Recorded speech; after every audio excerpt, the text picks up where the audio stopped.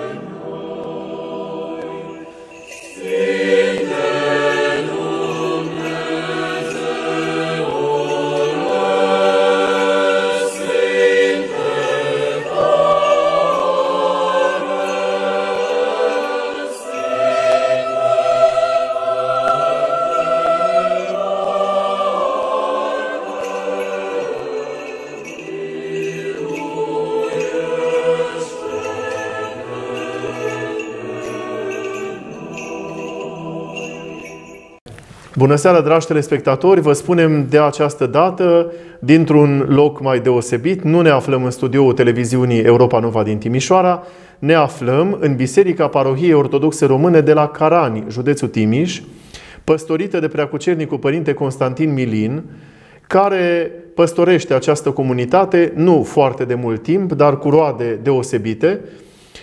Părintele a mai fost preot paroh la alte parohii din Episcopia Caransebeșului, a venit în satul său natal, unde a început o pastorație și o misiune care și până acum sau deja își arată roadele.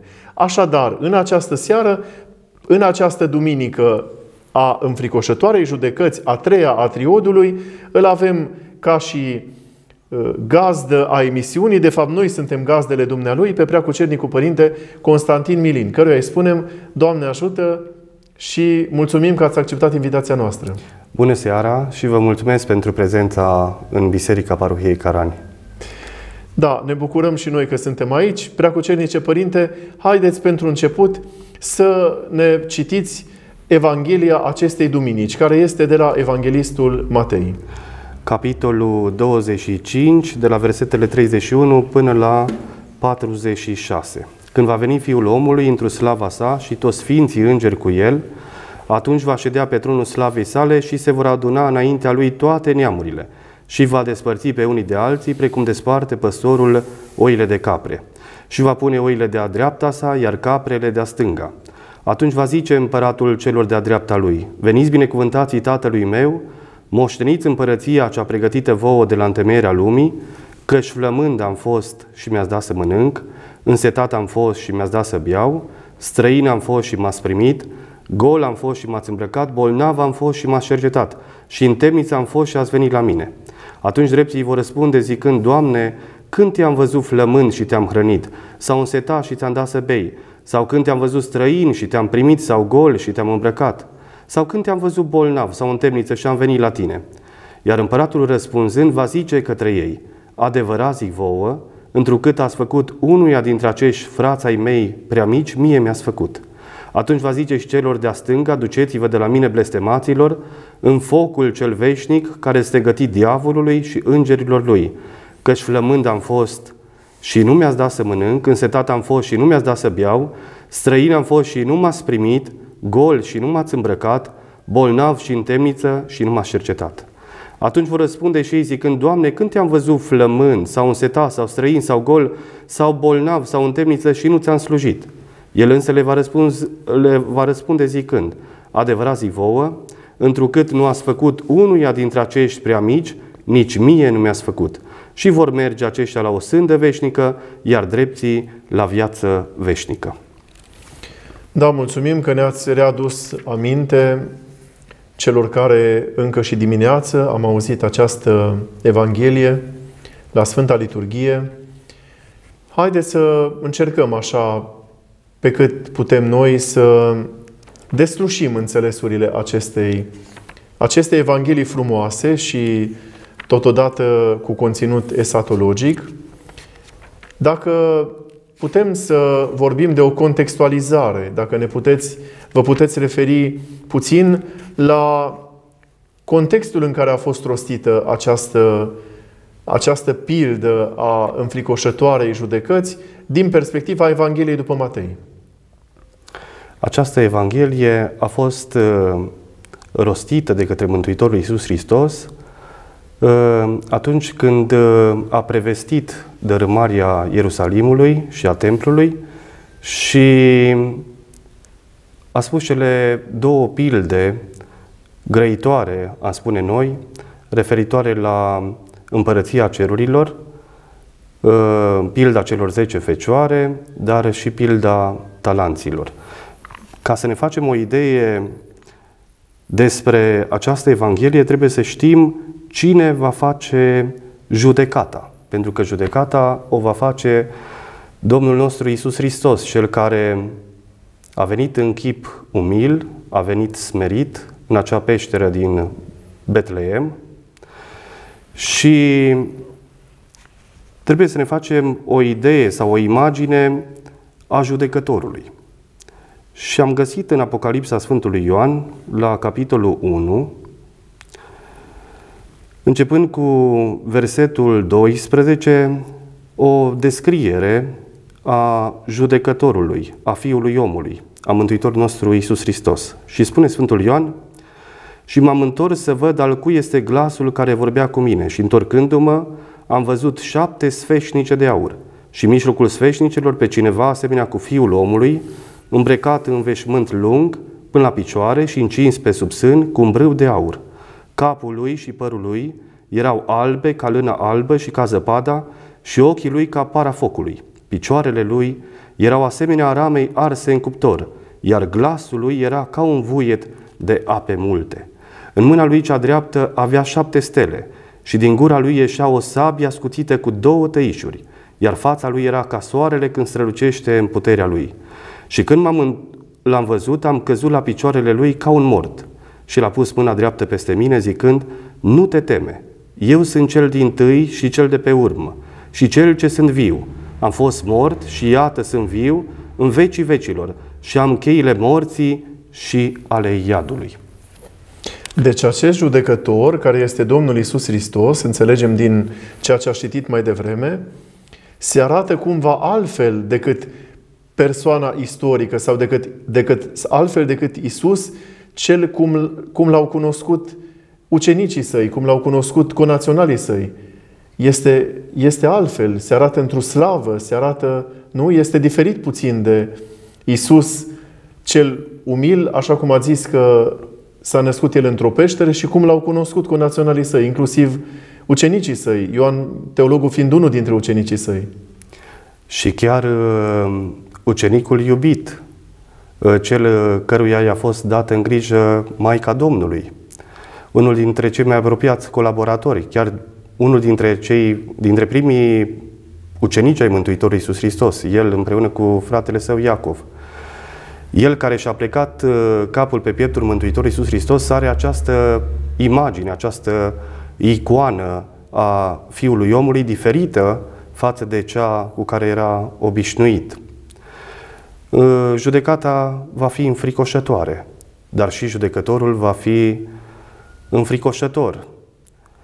Uh, va fi înspăimântătoare această judecată, pentru că această judecată va fi atât pentru cei vii cât și pentru cei morți. Dar uh, Deci acum vorbim despre judecata universală, Părinte, nu despre judecata numită și de apoi. La aceasta se referă Evanghelia după Matei sigur, de astăzi. Sigur că da.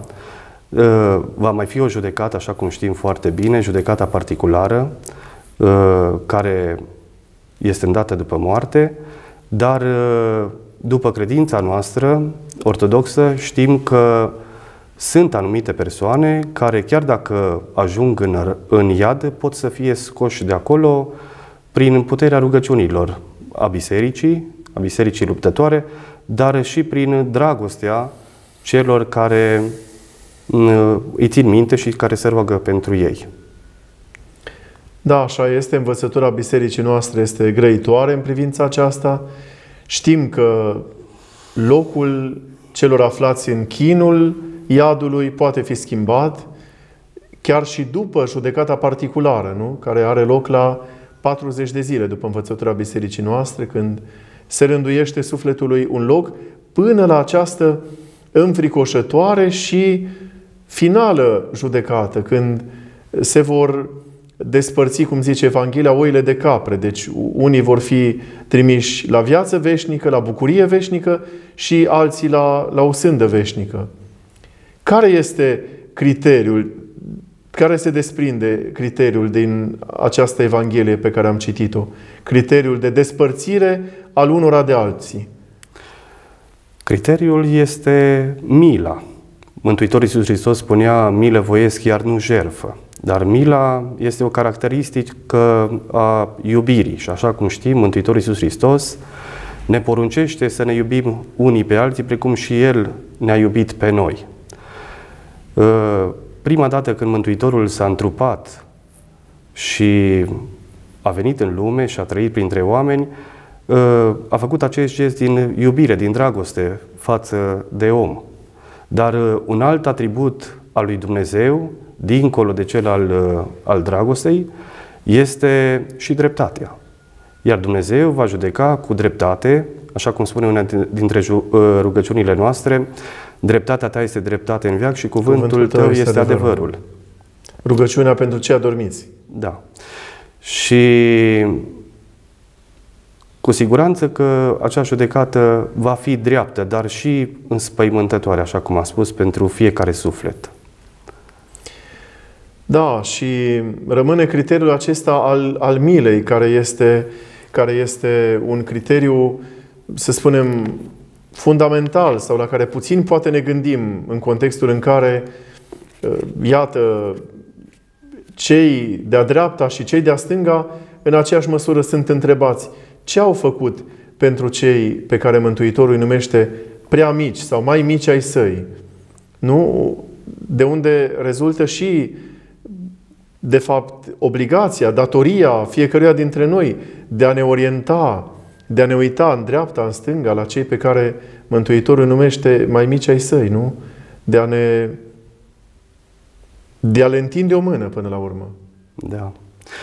Ă, această Evanghelie și această duminică a fost așezată în această perioadă a triodului, deoarece este puțin până când vom intra cu adevărat în postul Sfintelor Paști. Da, o săptămână exact. Și în acest context aș vrea să vă citesc din capitolul 58 de la, de la Isaia, de la prorocul Isaia, unde se spun următoarele. Nu știți voi postul care îmi place? Zice Domnul. Rupeți lanțurile nedreptății, dezlegați legăturile jugului, dați drumul celor asupriți și sfârmați jugul lor împarte pâinea ta cu cel flămând, adăpostește în casă pe cel sărman, pe cel gol îmbracă și nu te ascunde de cel de un neam cu tine. Atunci lumina ta va răsări ca zorile și tămăduirea ta se va grăpi. Dreptatea ta va merge înaintea ta, iar în urma ta slava lui Dumnezeu. Vedem din uh, cele ce am citit uh, acum că există o asemănare între Evanghelia de astăzi, dar, dar și cuvintele acestea din prorocia uh, profetului Isaia. Uh, mila este o caracteristică uh, a noastră, a oamenilor și până la urmă ea se desprinde din iubire. Nu poți să iubești pe cineva neavând milă față de el. Uh, este o dovadă a dragostei. Dacă iubim cu toată ființa noastră Uh, pe cel de lângă noi, cu siguranță că ne vom apleca spre nevoile Lui. Uh, spune Mântuitorul Iisus Hristos în alt loc, uh, dacă iubiți doar pe cei ce vă iubesc, ce răsplată veți avea? Nu fac și vame și și păcătoși și același lucru. Deci noi trebuie să îi iubim pe oamenii din viața noastră, indiferent cine ar fi ei, chiar și vrășmașii noștri, să iubim ca și când i-am iubit pe cei apropiați uh, nouă. Uh, părinți, frați, surori, copii, nepoți, în felul acesta. Nu, da, este foarte sugestiv faptul că ați citit acest uh, text din profetul Isaia, având în vedere că se apropie postul, peste o săptămână este postul, postul mare, și de fapt ni se, ni se inoculează această idee că postul ar trebui unit cu fapta bună, cu fapta bună făcută pentru semenii noștri. Nu? Ca așa ați citit acolo. Postul adevărat este și în momentul când faci un bine, când dăruiești ceva, când așa ați citit că trebuie să ne orientăm, să ne aplecăm, mai bine spus, pentru cei sau față de cei care sunt, cum am zice, la marginile societății, la, la periferia societății. Sigur că da. Uh, următoarea duminică va fi Duminica Izgonirii lui Adam din Rai. Sfântul Vasile cel Mare spunea că o consecință a lungării noastre din Rai a fost lipsa postului, fiindcă nu am postit atunci. Spunea Sfântul Vasile să postim, deci ca să intrăm iarăși în Rai. Și atunci uh, există o strânsă legătură între judecată și post. Între post și fapta cea bună. Postul presupune și fapte bune. Mântuitorul Iisus Hristos, atunci când uh, era pe muntele fericirilor și a spus, ne-a învățat rugăciunea domnească, Tatăl nostru, ne-a vorbit și despre post, despre felul în care trebuie să postim. Tu când postești, unge capul tău și fața ta o spală, spală, să nu te arăți oamenii că postești și tatălui tău care este nascuns. Și el care vede nascuns îți va răsplăti ție. Și atunci uh, postul nu presupune doar o abținere de la, de la, de la mâncare, ci trebuie împletită această abținere de la mâncare cu uh, fapta cea bună, ca să nu fie doar un, uh, un regim alimentar. Și suntem chemați de către biserică ca măcar în această perioadă uh, apostolului să facem fapta cea bună, să împlinim faptele cele bune, să arătăm iubire celor din jurul nostru, să arătăm uh, dragoste celor pe care poate nu iubește nimeni. Și ce frumos ar fi ca mai ales lor să le alătăm, acelora pe care nu iubește nimeni. Mai ales lor. Nu? Sigur că da.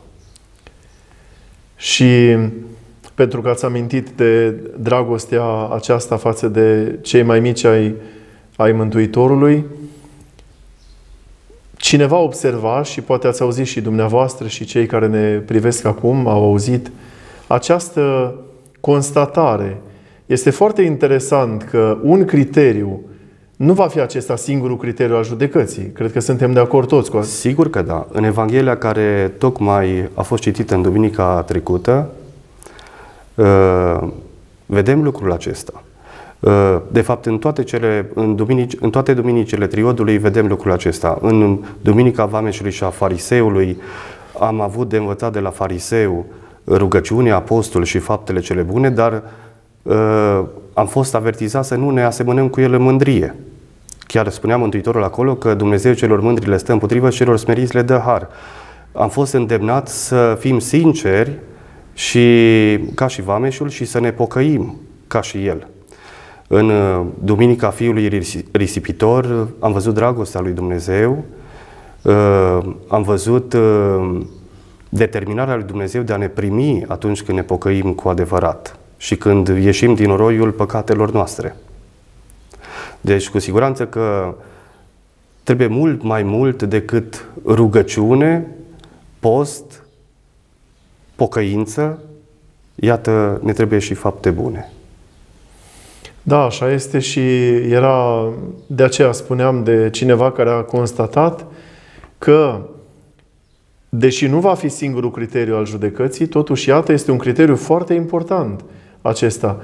Mila, grija față de semenii noștri.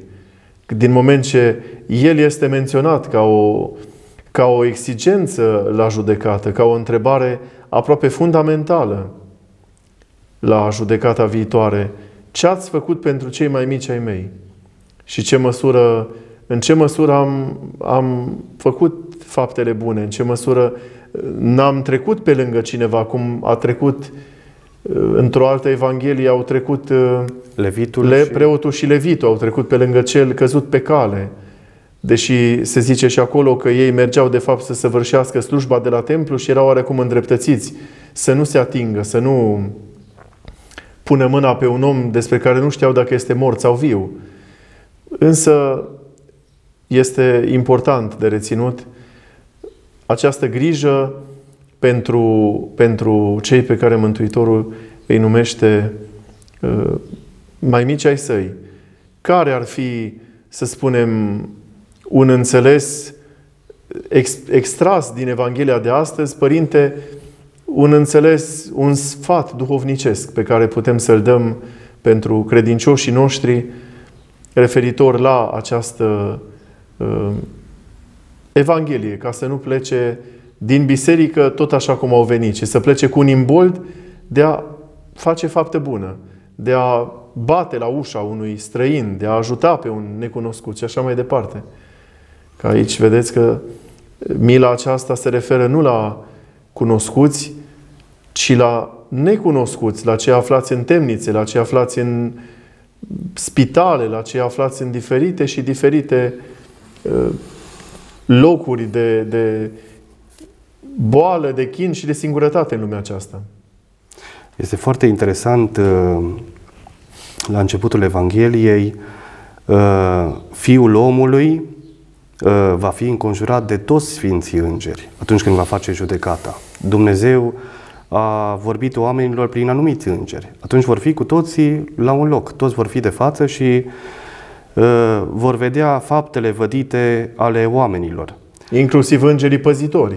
Dar, nu? Uh, exact, dar uh, există aici uh, un cuvânt unde spune Veniți, binecuvântații Tatălui meu, moșteniți împărăția cea pregătită vouă de la întemeierea lumii. Deci Dumnezeu pentru noi oamenii a pregătit împărăția cerurilor.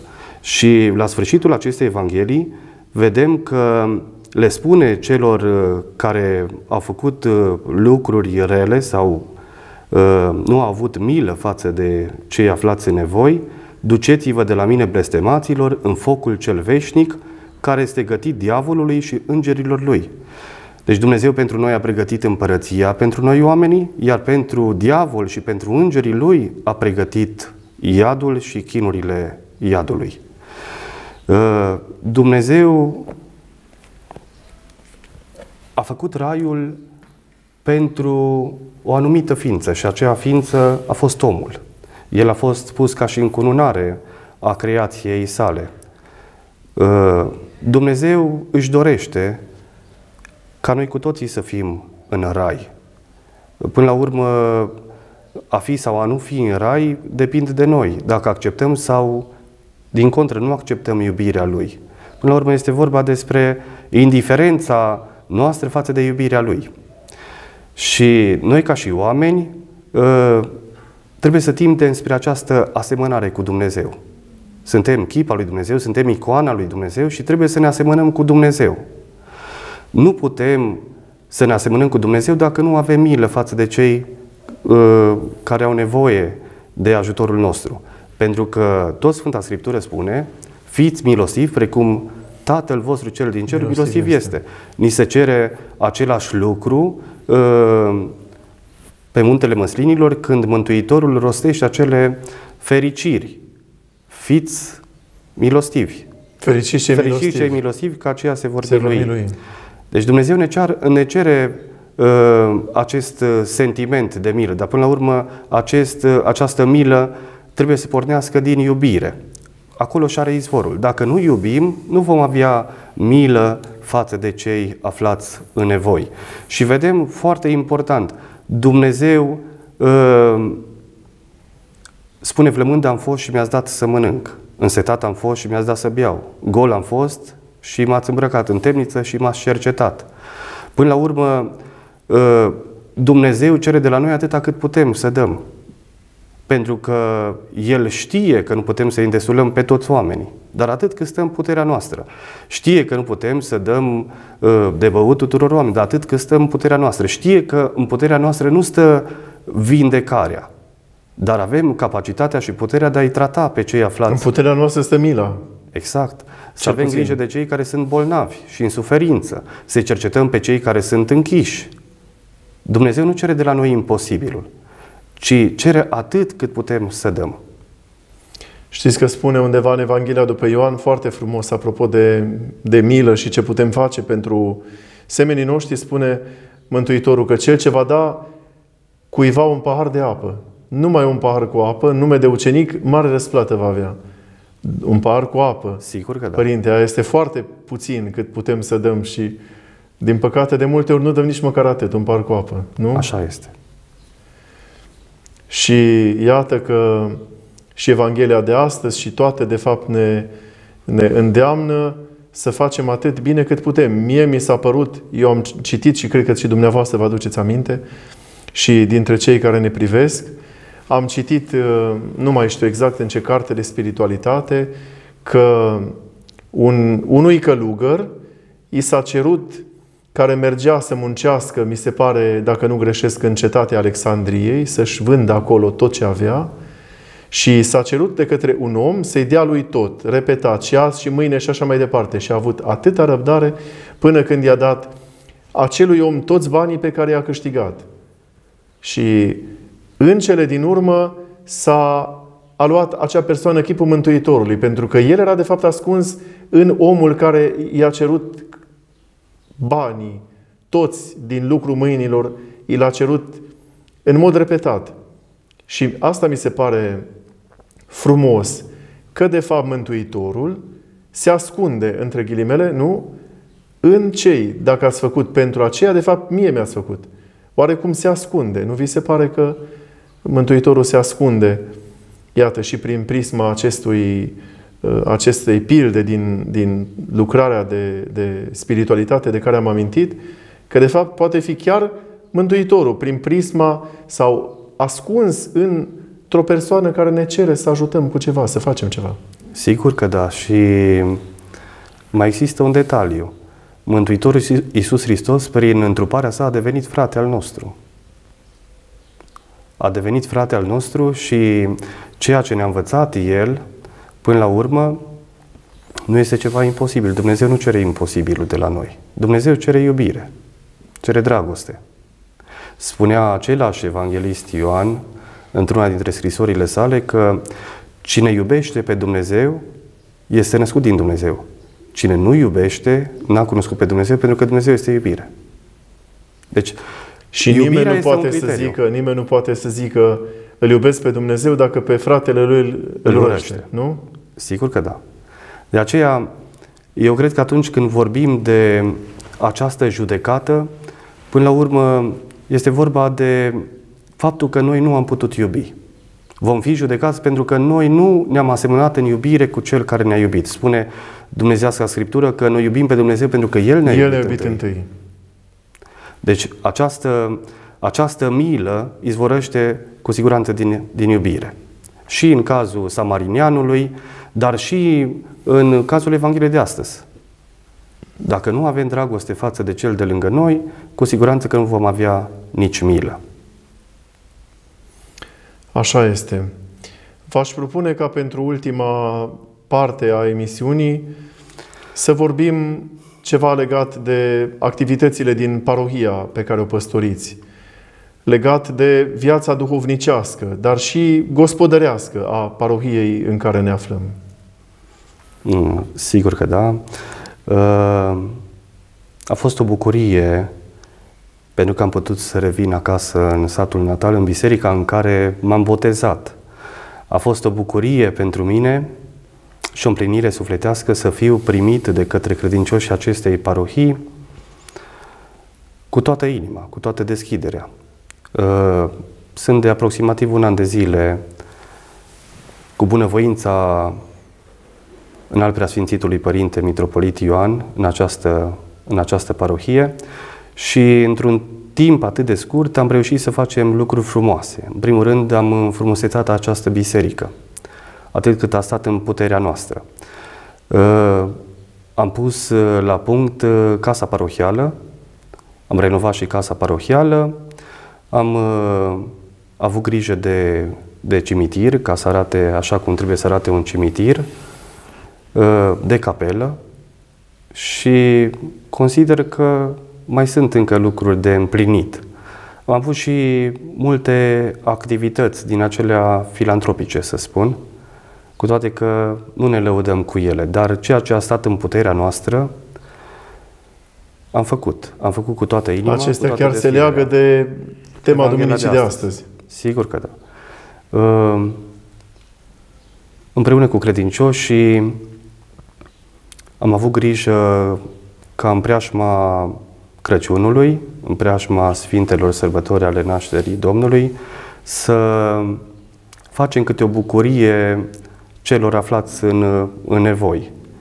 Uh, am avut grijă de bătrânii, dar și de cei suferinți ai parohiei noastre. Uh, tot uh, prin împreună lucrare Sunt cu... oameni singuri, credincioși singuri, care nu mai au pe nimeni? Foarte puțini.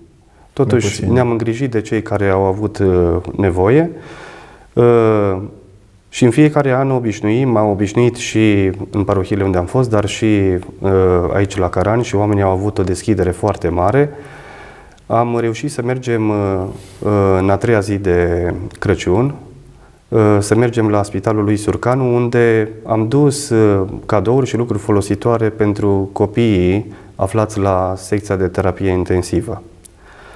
Uh, am avut și activități cu tinerii în parohie, uh, am vizionat aici în uh, curtea bisericii pe videoproiector tot felul de filme cu tematică religioasă.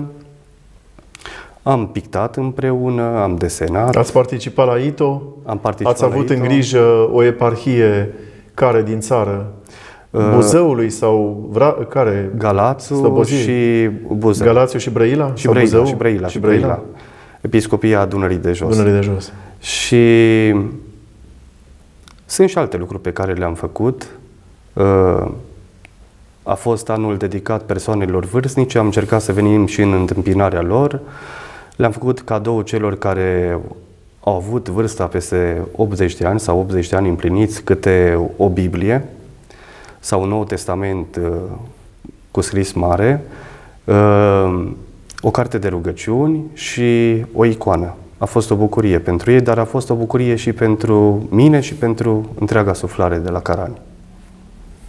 Da, și din punct de vedere, ce ne puteți spune din punct de vedere al vieții duhovnicești, apropo de începutul postului, apropo de necesitatea de a participa, iată, la Sfintele Slujbe, la tainele bisericii, la Sfânta Liturghie, la împărtășirea cu trupul și sângele Mântuitorului. Ce ne puteți spune legate de aceste uh, componente ale vieții parohiale? Biserica este neîncăpătoare în fiecare duminică și oamenii vin și se mărturisesc de păcate, se împărtășesc cu trupul și cu sângele Mântuitorului Iisus Hristos, au o participare activă la Sfânta Liturghie. Pot să spun că din acest punct de vedere, sunt mulțumit sufletește. Pot să spun că toate merg în direcția cea bună. Da, slavă Domnului că ați reușit să înnoiți, să dinamizați, să ajutați cumva duhovnicește mai mult să crească această parohie în care ne aflăm ca să fie spre mântuirea cât mai multora apropo de Evanghelia de astăzi, că iată, din păcate, verdictul ne spune, verdictul judecății, că nu se vor mântui toți. Numai unii se vor mântui, dar noi cât putem să încercăm să ajutăm la mântuirea cât mai multora. Prin activitatea noastră, prin tot ceea ce ne propunem să facem, prin familia dumneavoastră, prin cei care vă sunt alături, ca să puteți să Ajutați, deci, la mântuirea cât mai multora până la urmă. Mântuitorul Iisus Hristos, în, într-una dintre Evanghelii, atunci când intră în templu și răstoarnă tarabele negustorilor care își desfășurau activitatea în acel uh, loc sacru și sfânt, uh, spune casa tatălui meu, casă de rugăciune se va chema și mai spune, citează din, dintr-unul dintre profeți și îi spune, râvna casei tale mă mistuie. Până la urmă, cred că uh, misiunea noastră este de a-i face pe oameni să le fie sete de Dumnezeu. Sete și foame de Dumnezeu. Și foame de Dumnezeu. Cred că este foarte important și până la urmă trebuie să învețe să-L redescopere pe Dumnezeu. Pentru că spune Sfântul Vasile cel Mare, Dumnezeu nu este departe. Hristos nu este departe. Și Hristos se află mai aproape decât credem de multe ori. Uh, trebuie să învețe oamenii să-L redescopere pe Hristos. uh, pentru a ajunge la bucurie și la comuniune cu Hristos. Pentru că altfel și viața aceasta care este până la urmă nu doar o călătorie, pentru că este o călătorie, dar este și un dar. Este darul vieții. Un om atunci când ajunge în pragul morții, chiar dacă are o vârstă venerabilă, chiar dacă a ajuns aproape la 100 de ani uh, și chiar dacă a suferit de-a lungul vieții lui, de, și-a trecut prin multe nenorociri sau necazuri, a vărsat multe lacrimi, cu siguranță că dând timp înapoi, pagină cu pagină, nu își va aduce aminte de lucrurile rele care s-au întâmplat în viața lui, ci va vedea doar părțile bune. Și va mai cerși, dacă se poate, de la Dumnezeu încă o zi sau încă o clipă. Deci, până la urmă, trebuie să încercăm să-L avem pe Hristos în viața noastră, să, să ne umple sufletul, să ne umple inima. Pentru că doar astfel putem să fim împliniți. Uh, nu putem să tânjim spre o fericire din aceea uh, amăgitoare, care este deșertăciune. Trebuie să țintim uh, acolo unde trebuie, adică spre Hristos. Hristos este bucuria noastră, Hristos este fericirea noastră și, așa cum am văzut din Evanghelia de astăzi, Hristos este și veșnicia noastră. Hristos, până la urmă, ne mântuiește pe cei care ne dorim să ne mântuim. Știm foarte bine, din punct de vedere dogmatic, că mântuirea este de două feluri, obiectivă și subiectivă. Subiectivă. Hristos, prin tot ceea ce a făcut El, toate culminând cu învierea, ă, a împlinit acea mântuire obiectivă. Este subiectiv dacă unii dintre noi ne vom mântui, pentru că trebuie să ne și dorim lucrul acesta. Ă, chiar duminică am spus că credincioșilor că Dumnezeu are o bucățică de rai pentru fiecare. Trebuie să ne și dorim acea bucățică. Trebuie să tânjim spre ea. Cred că ăsta este lucrul cel mai important. Dar ă, lucrarea noastră, misiunea noastră ca și preot este de a-i face pe oameni conștienți de această bucurie și de a simți această fericire care este Hristos. Până la urmă trebuie să ajungem cu toții la măsura bărbatului de săvârșit. lui Hristos. Exact.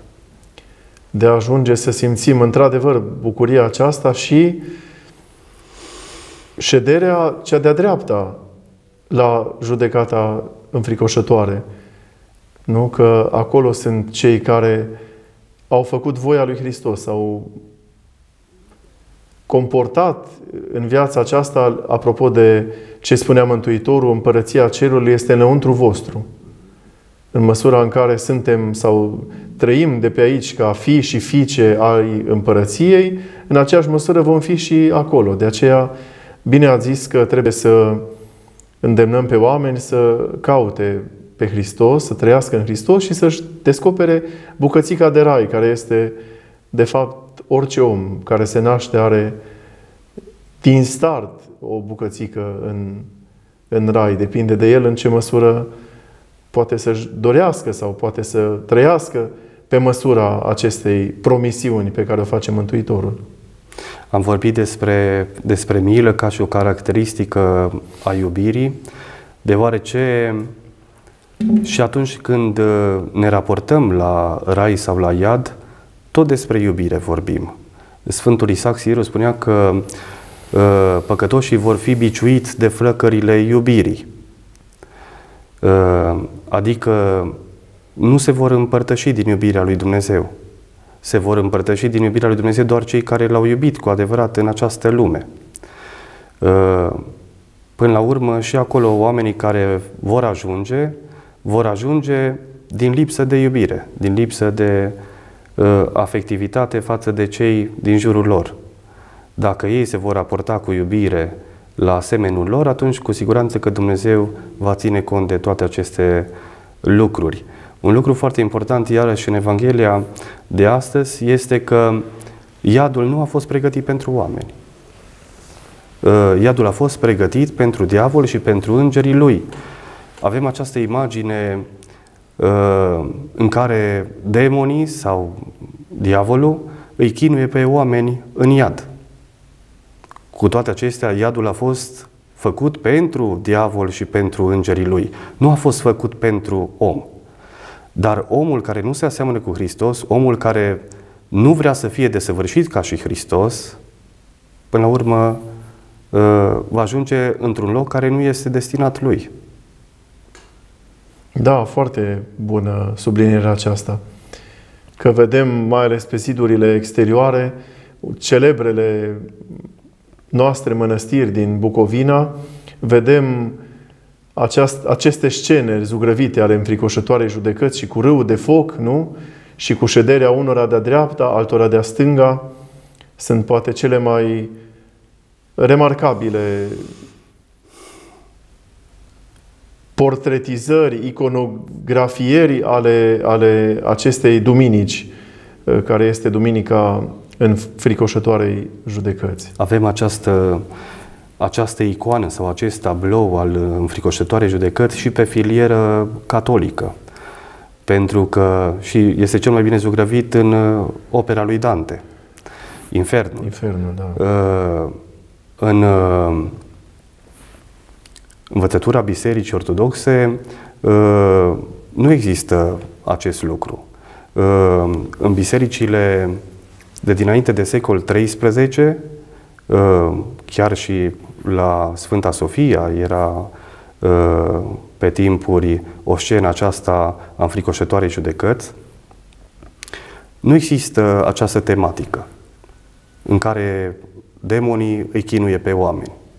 Uh, ar însemna ca și când Dumnezeu le-ar face o favoare demonilor ca să chinuie pe oameni. Oamenii suferă, după învățătura ortodoxă, de singurătate. Oamenii sunt mustrați... De lipsa comuniunii. De lipsa comuniunii. Cu Dumnezeu, cu Dumnezeu și unii cu alții. Și unii cu alții. De aceea zice Sfântul Isaac Siru că uh, păcătoșii vor fi biciuiți cu flăcările iubirii. Acolo va fi o, un permanent întuneric.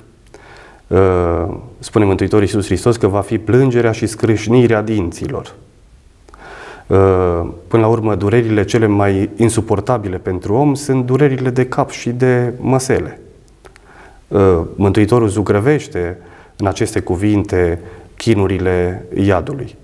Cu siguranță că vor fi chinuri care nu vor avea analogie în lumea aceasta. Mântuitorul Iisus Hristos spune că în lume necazuri veți avea, dar îndrăsniți am biruit lumea.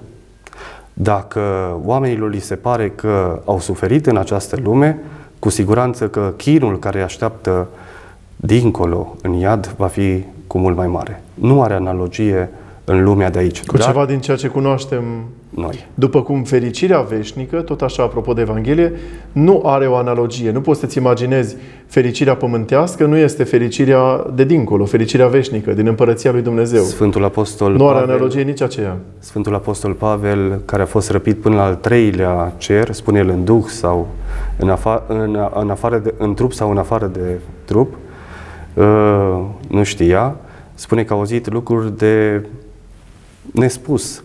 Uh, și tot el uh, spune că ceea ce, la, ceea ce ochii n-au văzut și, la, și, ochii n-au, uh, și urechile n-au auzit și la inima omului nu s-a suit, aceea a pregătit Dumnezeu celor ce iubesc pe el. Cu siguranță că bucuria și fericirea dreptilor la fel nu, va, nu are analogie în lumea de aici. Da, iată că încet, încet timpul alocat emisiunii noastre s-a scurs. Mulțumim pentru cuvintele pe care ni le-ați spus, mulțumim pentru detalierea câtorva lucruri din Evanghelia de astăzi, esențiale însă, pe care ni le-ați uh, împărtășit, ca și pentru câteva mărturii legate de viața parohială concrete de aici, din parohia ortodoxă română din Carani, unde ne aflăm și de unde filmăm în această seară. Dacă ați dori încă mai câteva minute, dumneavoastră va aparține încheierea acestei emisiuni prin a transmite un îndemn celor care doresc să își sporească viața duhovnicească. Iată, acum, la începutul Sfântului și Marelui Post. Ce ar trebui să facă, deși, în general, știm cu toții ce ar putea fi mai la îndemână ca să facem să ajungem și noi să urcăm scara, apropo de Duminica a patra Sfântului Post, să urcăm scara Raiului și să ajungem în partea cea de-a dreapta a Mântuitorului la judecata înfricoșătoare? Cred că este nevoie de sinceritate în raport cu Dumnezeu. Uh, spune Mântuitorul Iisus Hristos, fericii și săraci, uh, fericii și cu inima curată, că aceia vor vedea pe Dumnezeu. Dacă ne raportăm la Evanghelia de astăzi, la această duminică înfricoșătoare judecăți, cu siguranță că o să tânjim după chipul Mântuitorului Iisus Hristos. O să ardă inima noastră de focul dragostei pentru El. Iar acest foc, această dragoste pe care o avem față de El, trebuie să o transpunem în viața noastră de zi cu zi, dar și prin uh, viața noastră raportată la biserică. Adică, dacă ne dorim să facem parte dintr-un rai care nu este altceva decât o liturghie fără de sfârșit, trebuie să ne dorim și să ardem pe din lăuntru de dragoste, de dragostea întâlnirii cu El în fiecare duminică și sărbătoare. Ă, dincolo de sinceritate, cred că stă în puterea noastră să încercăm să postim, să încercăm să înmulțim rugăciunea în această perioadă care va urma, să încercăm să facem fapte bune nu doar pentru a bifa acele fapte bune, ci pentru a vedea în cel de lângă noi pe unul dintre cei mici ai Mântuitorului Iisus Hristos. Să încercăm să ca ceea ce facem să facem din toată inima. Să nu facem doar pentru a bifa uh, faptele bune. Să încercăm să, să transpunem aceste fapte într-un mod de viață. Trebuie să ne antrenăm în acest urcuș uh, al mântuirii, dar și în acest urcuș al postului, uh, prin mulțirea rugăciunii, a postului și a faptelor bune. Da, mulțumim, ați vorbit foarte frumos în sfaturile acestea pe care ni le-ați dat. Mie cel puțin mi-ați adus aminte de două lucruri. De ceva ce am citit la Mitropolitul Antonie Plămădeală, în cartea În biserică, în lumea acasă, spunea studenților teologi că ar trebui să fie autentici. Să nu ducă lipsă de autenticitate. Autenticitate ar fi cumva egal sinceritate, ceea ce a zis dumneavoastră. Și pe de altă parte, împrumutând celor mai mici ai Mântuitorului, de fapt, spunea Părintele Mitropolit Ioan, iată, Mitropolitul Antonie și Mitropolitul Ioan, Mitropolitul Ioan spunea că împrumutând, de fapt împrumutăm pe Dumnezeu, dăm lui Dumnezeu, iar Dumnezeu nu, nu rămâne, rămâne dator. niciodată dator. Mulțumim, Părinte, pentru această seară, pentru că ne-ați găzduit aici, în frumoasa dumneavoastră biserică. Vă dorim mult spor duhovnicesc, personal, familiei, credincioșilor și realizări cât mai multe și frumoase pe planul vieții Mulțumim. bisericești în această parohie. Mulțumesc! Iar dumneavoastră, dragii noștri telespectatori și spectatori, privitori, pe rețelele de socializare, începând de mâine, dacă nu chiar din această noapte, vă zicem să aveți săptămână binecuvântată, ajutor de la Dumnezeu și ne revedem cu bine duminica viitoare. Doamne ajută! Doamne ajută! Doamne ajută!